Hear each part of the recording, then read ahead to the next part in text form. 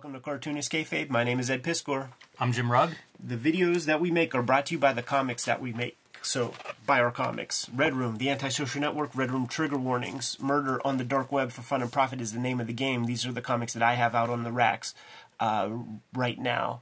Uh, each book contains four complete horror stories and about 70 pages of extra material you're not going to find anywhere else. On the racks now, Jimmy has Hulk Grand Design, Monster and Madness, uh, in issue format, telling the complete story of the Incredible Hulk. It's going to be getting that Treasury Edition format in early 2023, so put a pre-order in for that. And Street Angel Deadliest Girl Alive trade paperback is back in stores as we speak. It's got a new print run, eight complete Street Angel stories. Uh, all the Image Street Angel comics are inside these covers, and you have no excuse not to have it on your shelves. Buy our books, keep the channel rocking. Today, Jimmy, we're going to look at some Bat Dojinshi by Patrick Keck, Josh Simmons. We looked at uh, Twilight of the Bat on the channel uh, some time back. Did real well for the channel. And uh, Josh Simmons hits us up, has a complete collection of all his Bat stories. I think maybe Show and Tell 5 was a piece we did on bootleg comics. We had our men uh, Slim and Iceman, I think, That's right, were, yes. were, were, the guys Special guest host. who were the hosts of that, making everybody aware that uh, no money exchange hands on any of that stuff, man. But uh, I think we might have shown the original Batman comic that Josh Simmons did, which I feel like came out around when we first started kicking, early 2000s. Yeah, it's been I, a while. I mean, flip that thing up on its side. Like, this is a substantial collection of comics here, you know, 100, 150 pages or so an unbelievable package, Absolutely. a beautiful book. It's hard to believe this thing exists, but Simmons great cartoonist. Absolutely. So for a great cartoonist to turn his attention this direction, one of the best Batman comics ever made. Sure, comfortable with that because they they talk about that Frank Miller shit as like revisionist superhero, superhero dissection, whatever. Like he's taking it further. This is psychological breakdown of Batman's yeah. entire thing and maybe the entire superhero mythology. We uh, talk about Dojinshi and realize that it does exist in America. You know, it does exist, sure. And and then we started getting some. That's right. Ryan Elves with that Batman Nightfall joint, uh, various Turtles bootlegs, various Batman bootlegs keep them coming, and the best ones we're showing off, no doubt. I saw a really cool Spider-Man one by uh, by Kay Faber recently, so hopefully those will show up in the PO box soon. And remember, guys, the big marching order that uh, we're looking uh, for you guys to blow our minds off and knock our socks off, dude, is do something real with the death of Superman. Yeah, kill Superman and make it feel good. Yeah, absolutely, man. And that does have possibility because there should be collateral damage probably with something like that. Jimmy, you ready to get into this a little bit? Yeah, it's really interesting that this is an official publication, right? Like we don't actually see the word Batman in here anywhere. No, it's, it's the Bat, so I guess you can get away with that. And uh, printed out of France, the publisher on this one, and just a really interesting uh, look at this mythology. Totally. Makes it the end paper's really, really handsomely designed. I mean, you see the goddamn foil slipcase that feels real tactile, and it's just like they put so many bells and whistles into this bitch to make it a boutique item. It's a very nice book. And in Japan, there would be some dojinshi like that. Like, there's whole like print factories that that are just for dojinshi and you will get nice hardback ones. Like this is this is probably as high end as you'll ever get with with something like this. it's the like you know. I like that the stars are sort of like he's coming on himself, right? you know, a big part of uh, superhero subtext is uh, gay sex. Yeah, absolutely. So Patrick Keck, a quick word on him. He does finishing art on two of the four stories in here. I believe Simmons does layouts, writing, and then the finishing on the other two stories. I see. I was curious about that division yeah, I was of labor. Too. Here are your various stories uh, in here. I believe it's Twilight of the Bat is the one that we did a video on in the past. And uh, we can't even show you stuff in the back, man. When Victor Cayro goes ham, we can't let you see that on this channel, man. You got to you got to buy the book. Yeah, we'll get in trouble for some of this stuff. This is a bit of a preview, if you will. yeah, Mark of the Bat. This is the this is the classic. I remember seeing this up online. Uh, and that was the opportunity that was available at the time. Like knowing that you can't be selling this kind of shit. Uh, the character is probably not called the Bat back when that was uh, that first joint was was put together. Got our dude up on a rooftop, man. It's a um, it's a soupy sky. A lot of uh, industrialization in the town of Gotham. Here, you can barely see the moon through all of that. Uh, and you know what? You could tell that this is like that early period uh, Josh Simmons too, because like our Batman is like gets lost in the in the clouds and things, man. Connects to a uh, a building with those like Black Belt magazine. Ninja How many Claws. people ordered those things, man? My cousin Ed had, had them shits, man. And I tried to use them, and I was a nimble, skinny little kid. Could not get up a tree You, with cou- you them. couldn't climb up a skyscraper with those things? Could not get up a tree. I hope he got his money back then. I love when he goes to the top, like they are above the clouds. yes, that's so fun. The building is that big, dude. Look at these different textures for what is that, wind, perhaps? Gets up there, almost like, uh, you know, i- i- his shrine, his happy place. And here comes the cat, is showing up here. You know, Ho- Ho- Holy Terror, that, that Frank Miller joint, like he didn't in- innovate that shit. Josh Simmons was there first. This feels like the mark of an alternative cartoonist doing Sure. these little, almost like strips, Yeah. Yeah. little moments and, and exchanges. and this kind of manic mort making was was certainly um, that was in the air at this at that time it came out to 2004 whenever that was man Anders Nilsen comes to mind Has a piece in here. yeah yeah for sure This is something I think of with uh, Simmons, and whenever I talk about him being a great cartoonist, he really puts it on the page. yeah You know, like it's pretty consistent in terms of art. Like if you pick up something, Furry Trap or something like that, you're going to see that attention to detail there too.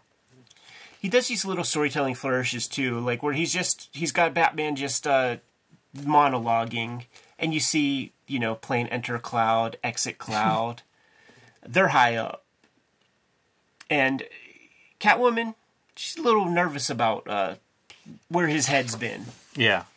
He's going on about how he won't kill, so he needs an advantage. Right. Yeah, yeah, and he came up with a new tool that he can't wait to try out. And she's talking like, you know, I used to have a crush on you. You were se- super sexy, but not so much anymore. She does her half gainer, poofs down through the clouds. Fun And, cartooning. yeah, and he's up there still just, uh, This is his refrain.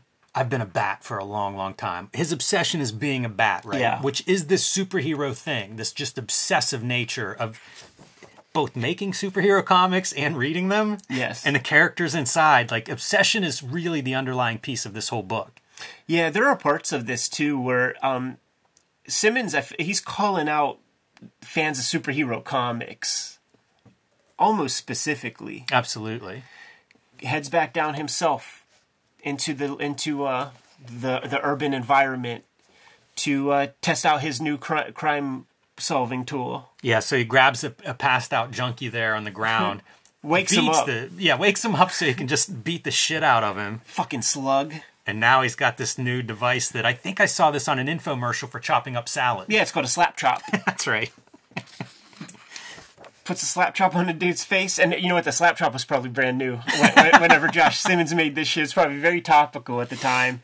And uh, if you ever wondered what a slap chop does to a face, there you go, right here.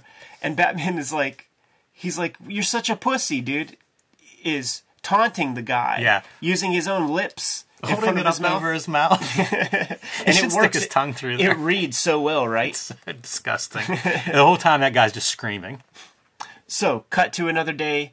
Uh, you only have to hold the trophy to know that it's hollow on the inside. It didn't solve what uh, Batman needed uh, to, to to feel nice. And let's talk obsession. Let's talk obsessive compulsiveness. You know, like by by looking at him do this, it implies that he made all of those little holes with his fingernails. and here is uh, here's the criminal element, and it's bringing him joy. He's smiling at the thought of a bunch of these rictus faced fucks uh, get getting humiliated and and screwed up. And then do some body horror. That is the part that we all remember. The hints of things to come. Yeah, this is the part that you cannot forget. 2006, 2007. Oh, that's nice that that uh, date's on there. Yeah. Twilight of the Bat is a video that we have done. No, we did not do this one. This is the one with Joker. Or Joke Man, as he's called. In this comic, G City. Going through the wasteland because our Bat figure just uh, picked up one of his arch villains, has to transport him back to uh, Gotham City Jail, Arkham Asylum, whatever you want to call it. I love the Batmobile. Yeah, it's a good Batmobile. Uh, they are traveling for quite some time because our Batman has a big fucking beard. Yes. And when you get the ha ha ha ha ha's, we know who this bad guy is. I feel like this is um, Simmons reads uh, The Road Yeah. and, and then starts making this stuff. yeah, absolutely, man. Look at the rigor on display, though. Four tiers of, of panels with incredible amount of marks in each panel. Yeah, absolutely, man. It's funny to do this for, you know, like a bootleg comic. I mean, I guess at this point he's got a system down for these and distro them and stuff, but it still is a lot of work he's putting on each page. That first one that he did was such a hit amongst like other pros and like, something that we always talked about. Uh, all of this other stuff is like cherry on top comics. Like you never thought that you would get another one, and he's made four or five, and they're collected in a super beautiful book. I mean, you know, 2006 is the first one. It's 2022 right now. You know, these long time in the making. It's weird to think of it that way. It looks like that world is just covered in ash. Totally. Like this is just full on wasteland. I get the sense that the Joker is the cause of that. We get a lot of their relationship, like everything that uh, Alan Moore wanted to uh, communicate between the relationship between Joker and Batman is done far more successfully here in a lot of ways. And and Moore admits that he admits that uh, killing Joke is a- was a trifle to him, no big deal. So it's going to be quite some time to get uh, our our bad guy back to Arkham Asylum. They're going to have to do some traveling. So, in order for Batman to get any sleep, you got to tie Joker up. Yeah. There, you cannot let him be. And when they wake up, there are two Oh, cupcakes waiting for them. Yeah. How, how nice. And more than the cupcakes, it's a symbol that there's more life out there. right. Somebody else is alive. And it's almost like the reverse of like trying to feed the stray cat and earn its trust. The idea here is we just gotta we gotta be cool and and the person that brought us those cupcakes, they'll they'll come out. They'll Yeah. come out when they're ready. Yeah, they may be traumatized after the events of like what the heck happened here, man. This is Neo Tokyo type shit. Uh, so, continuing their travels, And this is the part about why the world's this way, and I know you had something to do with it, joke man. right this makes so much sense too right like like get both of these guys together with no one else around and really get them to explore you know their their psychology Batman bites his finger off.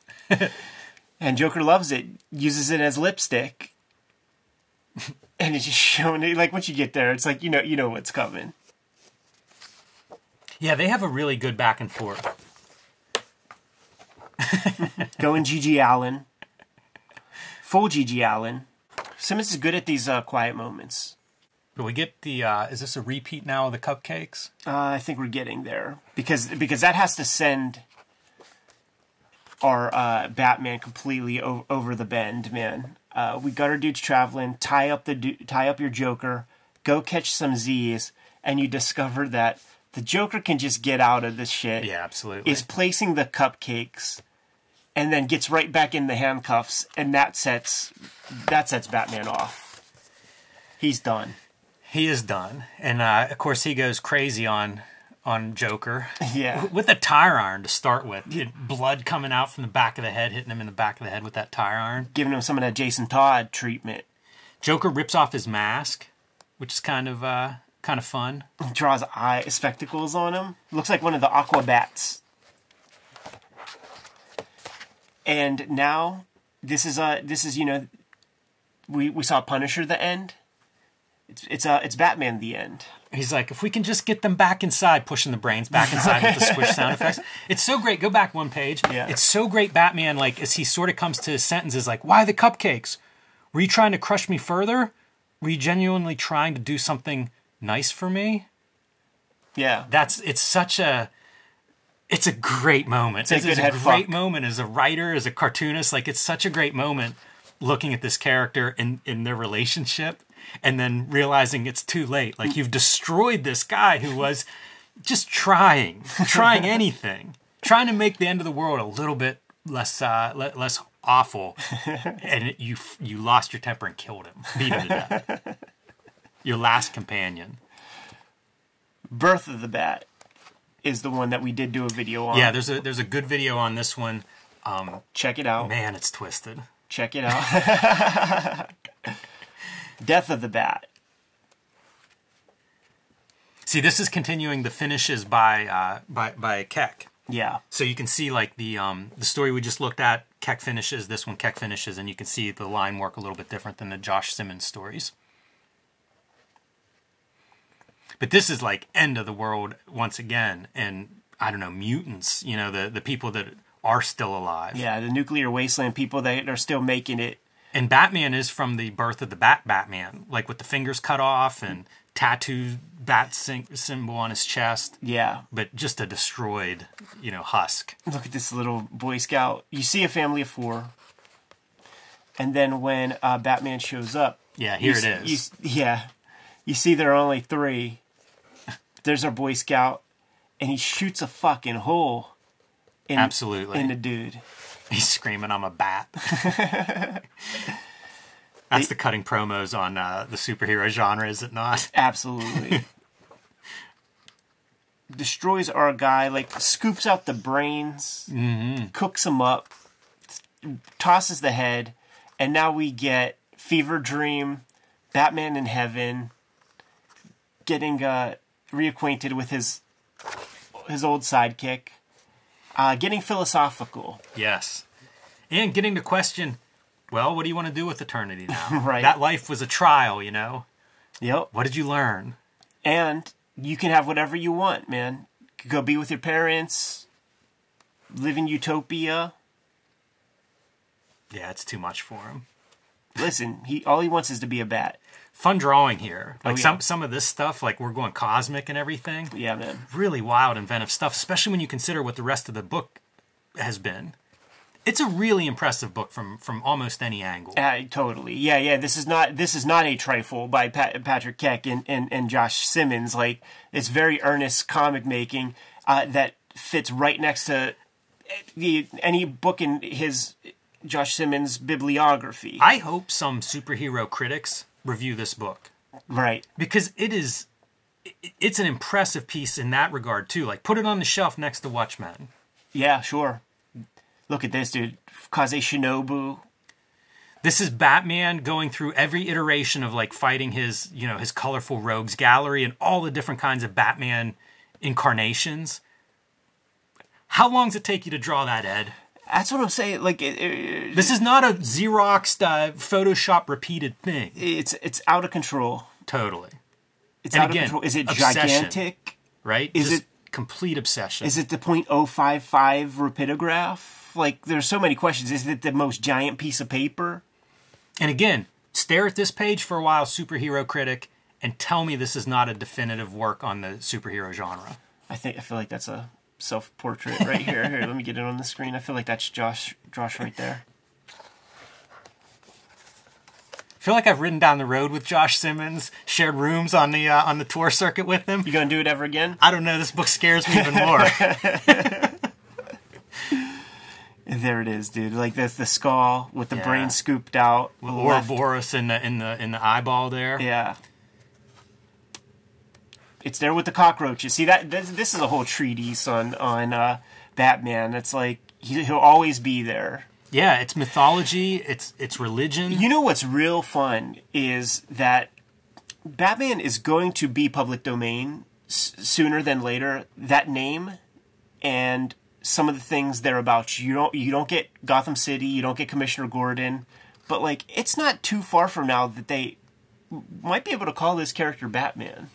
Maybe the second printing. Yes, maybe. I was gonna say everybody's calling him Batman. the only people that aren't are the lawyers. Yeah.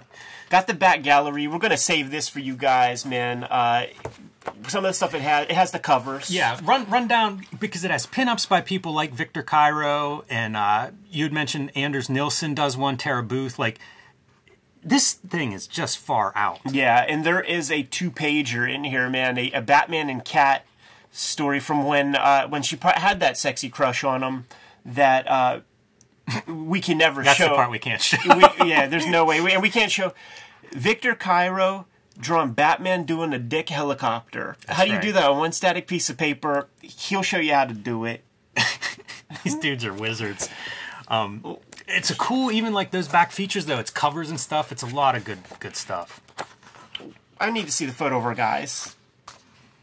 These are your culprits. The dudes who ended up making this comic, I like to think that they were wearing these outfits while putting pen to paper. I hope so, and hopefully while they're touring this book. This is your uh, bibliography of uh, Josh Simmons books that you could get your hands on. House, Jessica Farm, Black River. Black River came out whenever I was touring some uh, Hip Hop Family Tree. I got to read like uh, one of the first copies of that thing. Man, that was fucking amazing. Color blocking with the purple on the edges. Man, I think Sammy Harkham designed that book. Yeah, I think you're right. That's a nice book. The um, house, I think, is the one where like each page, the panel borders are ruled with a slightly bigger rapidograph. So it's this like really slow, almost imperceptible, just the, the edges closing in on you as you get deeper into that book. Great cartoonist. Super fun, man. Uh, put out the, by uh, the Mansion Press. Link in the description below to get to the Mansion Press, man, so you could scoop up your copy of uh, the Bat. And you better do it sooner than later because this is gone. This is gone. We're, we're selling this print run out, no no doubt, man. One of the great greatest uh, bootleg doujinshi that we got uh, our hands on, and the PO box is there in the description also for you to send yours, man. Because I am having a ball looking at this shit, man. We looked at Turtles doujinshi, we looked at other ba- uh, Bat bootleg comics, and we looked at the Tim Vigil uh, Batman comic that he did that could never be published in a million years. Uh, th- this is a great legacy, man. And And it'd be a nice mansion ought to reach out to Tim Vigil maybe. Be a Yeah, nice man. companion piece. yeah, yeah, it's such a ball to see. Uh, you know, the corporate comics they have failed us time and time again, uh, and it really is up to us to make the best Batman comics ever. Uh, let's see your Death of Superman comics. Uh, Eli Schwab, get the get the dudes on the case. In about a year's time, I expect to see something in the in the PO box, and there will be videos about it. Good to go, Jimmy. Yep. Kayfabers like, follow, subscribe to the YouTube channel. Hit the bell. We'll notify you when new vids are available. Jimmy, tell the people what's out there, man. Hulk Grand Design Monster Madness. Comic books are in comic book shops now. The oversized fluorescent green edition will be out in early 2023. Pre-order that thing now. You want to add it to your shelf. Street Angel Deadliest Girl Alive, back in print from Image. Eight complete stories in here. Action superhero comics for any aged reader. Perfect for Christmas this year. And join me on patreon.com slash jimrugg where you can see a lot more of my work, including my latest PDF there, which is a collection of all of my freelance comic book covers. So join today. Red Room, the Antisocial Network, Red Room Trigger Warnings, Murder on the Dark Web for Fun and Profit is the name of the game in the Red Room comics. Each of these books contains four complete horror stories, uh, as well as about 70 pages of additional material that you won't be able to get anywhere else. And I'm serializing new Red Room comics uh, and more at my Patreon, uh, patreon.com slash edpiskor. Three bucks for the archive there, more than 300 pages worth of stuff. Uh, hit my link tree in the description below this video. You'll be able to get to all of those destinations and support the Cartoonist Kayfabe channel. Jimmy, what else do we have out there, man? Subscribe to the Cartoonist Kayfabe e-newsletter at the links below this video. You can also find Cartoonist Kayfabe t-shirts, merchandise, mugs, fanny packs, and more at our spread shop in the link below this video. Another great way to support the Cartoonist Kayfabe channel. Give them those marching orders, Jimmy. We'll be on our way. Make more comics.